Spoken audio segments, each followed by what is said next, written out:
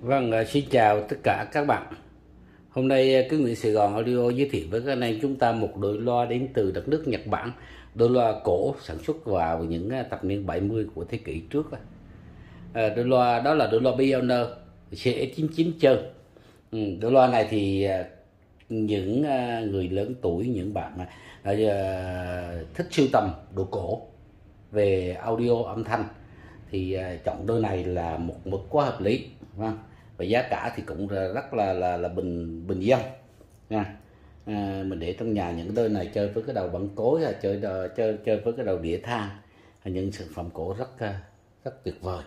Đôi loa Brioner CS 99 chân này có chiều rộng là 40,5 chiều sâu 29 và chiều cao là 64 và vâng, phía mặt trước của nó là có lưới hình mặt cáo bằng gỗ luôn. Hồi xưa người ta đã có những cái máy CNC rồi cách đây bốn cả trăm năm người ta có rồi thì cái này thì khoảng bốn năm mươi năm thôi nha.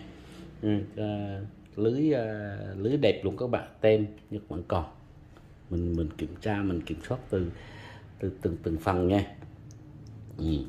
này cái, cái chỗ này còn chữ R luôn này đấy các bạn ha có trái và phải đấy đấy và mình lấy tiếp cái bên này mình lại tiếp cái lưới bên này. Này tứ đẹp, tem. Ừ. rồi, ok. Phía sau của mình. Và bây giờ mình quan sát phía ờ, loa. Loa này đặc biệt nó rất nhiều loa trên một cái thùng. Loa tổng cộng là 6 loa trên một thùng. Một bách 40 một bách 40 màng giấy viên tẩm dầu. À, các bạn nhìn thấy cận cảnh luôn. Có cái rau đẹp. À, màng màng giấy đẹp luôn. Viên vạ viên viên viên tẩm dầu. Và một uh, mít 14 một mít 14 một kèn. Một mít kèn. Nha kèn gan luôn á. Một kèn gan luôn. Một một à, một chép và hai siêu chép tổng cộng 6 loa trên một cái thân thùng này. À, đôi loa còn đẹp càng. Các bạn nhìn những cái cái cái cái, cái con ốc này nè. Người ta cố định vào trong này nó nó rất đẹp rồi. Bên này cũng vậy. Thường thường cái thường thường những đôi loa xe CS 99 chân là nó viền hai mục thay. À, nó bị thay. Cái càng đi càng gan các bạn nha.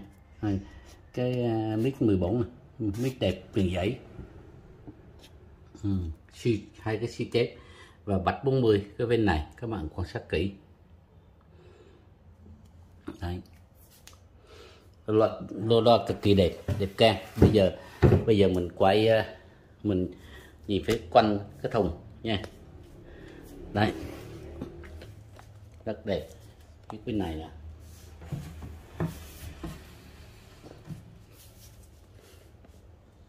Đây các bạn.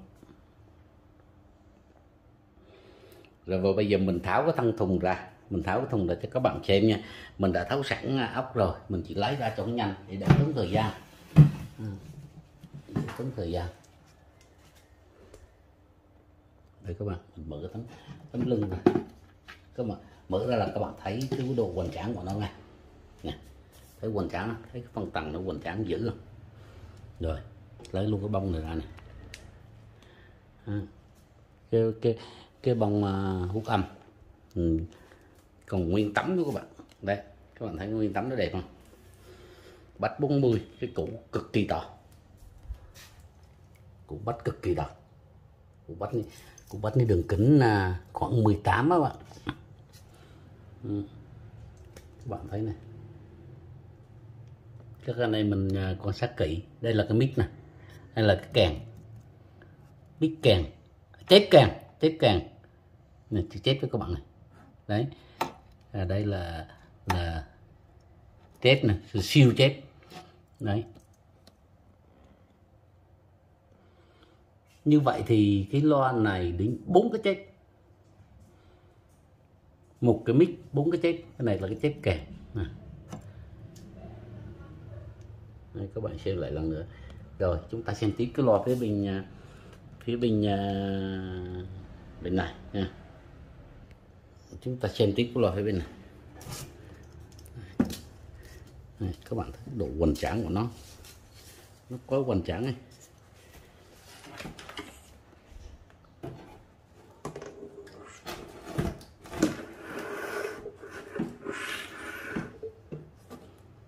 rồi mình mở ra mình thấy cái phân tầng này.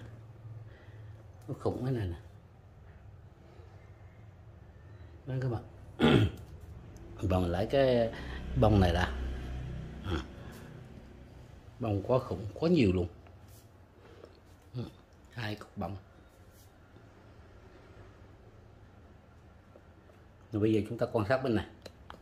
Cái củ còn bảy màu luôn. Cái củ rất lớn các bạn để thử cái đĩa CD vào này đĩa CD có xíu xíu à. To và kíp hay là đo thử nào.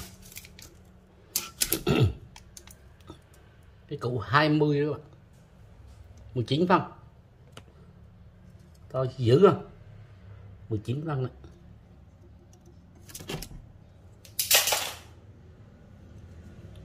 tất cả đồ đẹp chuyên các cái cái cái, cái nút xanh xanh à, trên cái cái nút sơn ở trên cái con ốc này vẫn còn nguyên vẹn rồi bây giờ chúng ta sẽ uh, uh, ghép vào nha. Tôi lo bên cực kỳ đẹp các bạn nha.